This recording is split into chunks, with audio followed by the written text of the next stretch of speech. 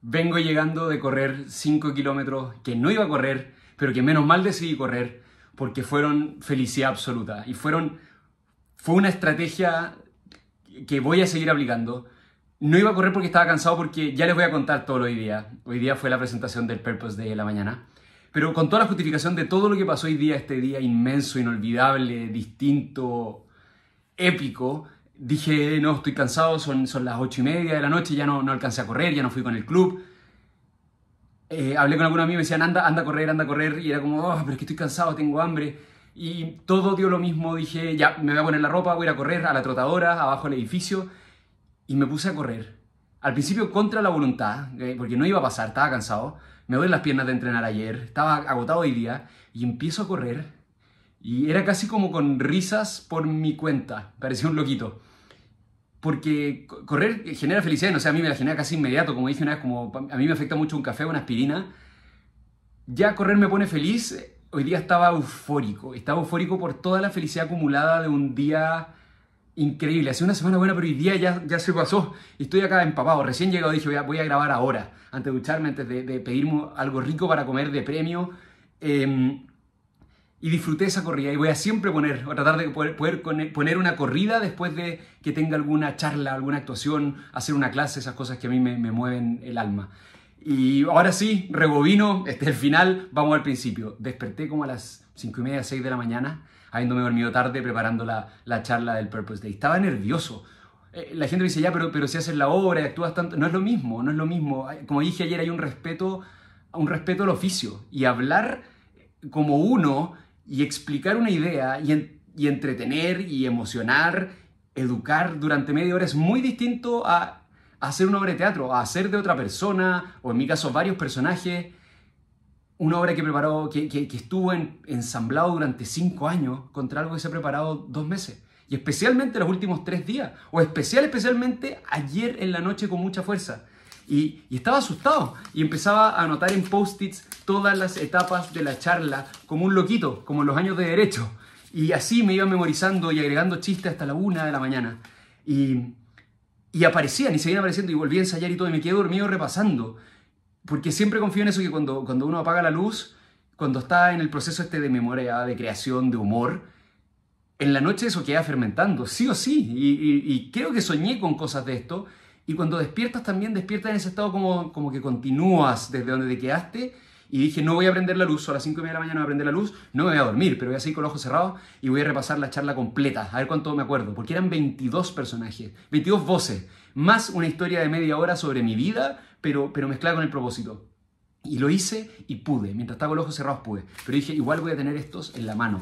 Mientras hablo, total iba a estar con un micrófono así, iba a tener estos escondidos, guardaditos así en mi mano. Porque tenía susto, porque hacer una charla frente a 600 personas con gente extraordinaria en ese escenario, personas que admiro, algunos que he entrevistado por mi podcast, compartir escenario con ellos, siendo el más chico del grupo, era, era un desafío inmenso. Y aún, aún para mí, para el actor, para el improvisador, para el abogado, para, no había ego suficiente como para decir, no, sin papel estoy bien. Necesitaba un poquito de ayuda y así me, así me di permiso de tenerlo. Y seguí repasando hasta las 8 de la mañana, 8 y media de la mañana, y llegué al Hotel Intercontinental, ya estaba llegando la gente, entré a la sala, me probé el micrófono, el salón inmenso, espero subir algunos videitos ahí al final.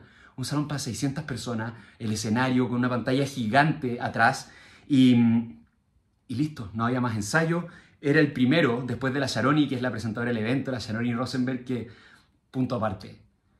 Qué talento, además de, lo de ella, además como escritora, como consultora, como persona, el talento que tiene para convocar, para reunir a personas especiales. Eh, y no especiales en el sentido soberbio, sino que personas que, que merecen ser conocidas por alguna razón no solamente juntó este grupo de presentadores para su gran evento, sino que nos puso en el orden perfecto. Decía, ¿por qué estoy yo primero? Si soy el con menos experiencia, la apertura y el cierre de un evento es a veces lo que la gente más recuerda. Y una vez que ya había actuado, entendí sus razones para todo, su instinto, su talento para esto, y me puso ahí para hacer reír, pero emocionar, para, para abrir el evento. Ella sabía que yo tengo un mensaje, que tengo algo de contenido, pero también que se hace reír, que se entretener, que se relajar a las personas y entrar en confianza. Y cuando me subí al escenario, cuando ella me presentó, nos dimos el abrazo y parto, adiós post-its. Creo que los, los, miré muy poquito a lo largo de la presentación, pero era rico tener esa ancla. Y parto hablando con mucha confianza, mirando al público, paseándome y empiezo a jugar y a, a recordar mi vida ligada con, con, esta obligación que me puso la Sharoni de explorar cuál era mi propósito ahí, cuál era mi propósito ahí. Llegué al momento de, de hablar del bullying que me hacían en el colegio cuando llegué acá a Chile y es primera vez en mi vida que lo puedo hablar sin el nudo potentísimo y sin las lágrimas en los ojos. Y pude pasarlo de largo. Y pude contarlo y hacerlo parte de mi narración como un capítulo más formativo que tuve. Contra algo con lo que tuve que superar. Y seguí y conté de mis dudas, de cómo no me atreví a estudiar teatro, que es una limitación que me puse yo. Y, y las dudas que tuve a lo largo de todo esto y lo bonito que ha sido cada cuestionamiento de quién soy. Y, la charla funcionó. Se reían de los personajes, se emocionaban con la historia, voló una media hora y cuando terminó, con aplauso entre medio, con aplauso fuerte, cuando termina el público, me entregan mi premio, se sube la charla y nos damos un abrazo apretado. Este es mi premio. Es de madera, creo, y, y cerámica. Sale propósito ahí. Y tengo un premio, tengo un premio por haber participado. pero también es un premio haberme atrevido a hacer una charla nueva, a contar de mi vida, a, hablar de mi propósito. Y, y, este es un tesoro, este es un Oscar para mí. Y va a estar en las repisas más importantes que tenga a lo largo de mi vida. Cóbremelo a alguien si es que no está ahí, a menos de que me lo roben. Pero este se ganó con, con trabajo, con esfuerzo. No solamente es la preparación de la charla, es tener una vida digna de de hablarse en una charla, por lo menos para mí. Así que ahí está. Y con esa emoción, con esta emoción, me fui a sentar a ver más de las charlas. Y siguió la Milena del podcast La Milena Pantoja y voló mi cerebro. Era, mientras ella hablaba era como las cosas que ella decía las iba conectando con lo que yo había hablado de mi propia experiencia y para ella era como que estaba surfeando lo rico que había sido que el público ya estaba calentito y ella lo liquidó, lo, llevó a 20 por. Y por mi parte yo miraba esto como con admiración y orgullo, ella en el escenario desde primera fila yo, y era, esto valida todo lo que dije. Alguien tan inteligente como ella, alguien que tiene tantas voces, tanto conocimiento, está diciendo que lo mío es verdad. Oh, siguieron otras presentaciones, Rodolfo, un doctor que tiene un nivel, de, que, que, habla de la verdadera salud, de la verdadera salud, no la de curar enfermedades, sino que la salud real. Eh, Hans, alguien que lleva años, Hans Eben, que lleva años peleando por, por un cambio de mentalidad, por las grandes batallas del porqué de, de igualdad de género, de, de, sustentabilidad, alguien que venía un camino tan tradicional, peor que el mío, y, y lo está dando la batalla en todos esos frentes. Cada persona que se paraba en el escenario te, te ponía piel de gallina y todo esto orquestado mágicamente por Sharoni. Y y terminado esto, llegando al break, la gente se acercaba a darme abrazos, me tomé como 100 fotos, saludé a muchas personas. Una, una mamá me contaba que su hijo se había echado el examen de grado hace dos días atrás y cuánto deseaba que pudiera escuchar mi charla. Y cómo, cómo eso no va a valer la, pena, poder hablarle a ella y decirle que va a estar todo perfecto, que le diga que, que, que lo acompañe nomás, que si es que es mediante para ser su mamá, va a salir adelante y que esto va, este capítulo de echarse el examen, que, que, es algo tan común, va a ser algo que va, de lo que se va a poder apoyar para toda la vida como un momento de transición, de reflexión, de pivoteo, de lo que sea. Pero va a ser importante y va a ser bueno. Y, y, personas que se acercan y me decían como yo también soy abogada y no debería haber sido, oye, qué bacán, y que sigas haciendo cosas y creando, o yo soy emprendedor, o yo soy alguien creativo, se acercó alguien y me dijo, te regalo estas dos frases, una es de Alicia en el País de las Maravillas, y me dijo, tú me haces ver que es posible ser muchas cosas a la vez, y me dijo, en Alicia en el País de las Maravillas hay una frase de que alguien dice como, eh, yo eh, soy alguien que tiene muchosidad, y muchosidad esa palabra y también me dijo eso, ese, poema de Walt Whitman de I contain, multiple, eh, I contain multitudes, yo contengo multitudes, no eres solo uno, eres todas estas cosas que puedes ser. Y, y tomé esas dos frases y dije, las voy a anotar al tiro, las voy a guardar porque van a ser, van a ser parte de mí. Esas son las etiquetas que quiero y no las otras etiquetas que, que era carrera o hobby o no sé cuánto. Lo que soy es esto. Y ese tipo de interacciones tuve hoy y las agradezco. Si es que llegan algún día a este video esas personas que se acercaron, gracias por acercarse. Gracias a los que se acercan después de una obra de teatro, después de una charla, después de una clase para decir gracias o me sentí identificado o esto me, me, pegó o yo tengo esa voz en la cabeza o me hiciste reír. Yo creo que la gente a veces piensa como, ah, lo debe escuchar, no lo escucho tanto tanto y, nunca va a ser suficiente para dejar de sentirme agradecidísimo de que hagan eso, de que me hagan sentir así de querido, de especial, de, de y sobre todo de, de, que hay otros que sienten las mismas cosas.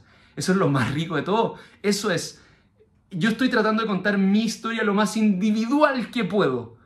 Y me doy cuenta que mientras más individual y específica la hago, más logro conectar con algunas personas, con más personas.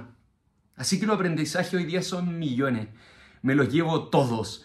Eh, pongo esto en mi repisa para toda la vida y agradecidísimo de Sharon y agradecidísimo de, todo, de, haberme puesto este desafío de hacer una charla en tales condiciones, de los speakers de los que puede aprender, de, de, la gente que asistió, de que se da el tiempo, de que paga por escuchar historias y, reflexiones y, aprender sobre esta ruta. ¿Qué año, qué semanas, qué, vida más llena de, cosas?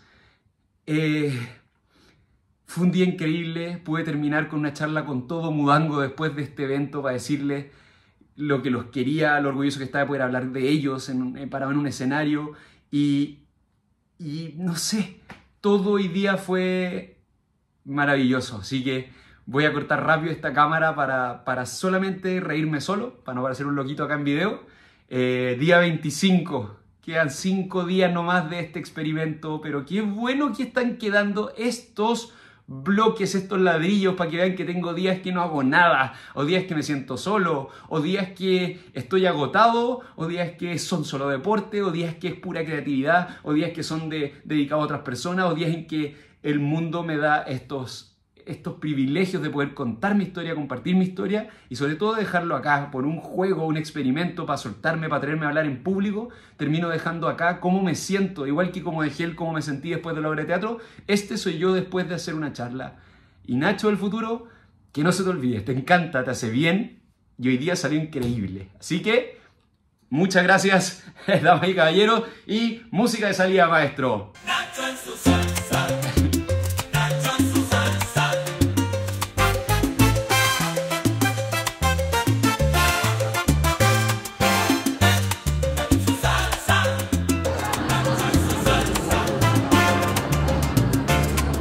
Hola a todos. Eh, muy buenos días. Estoy muy feliz de estar acá. Eh, estoy muy nervioso de estar acá.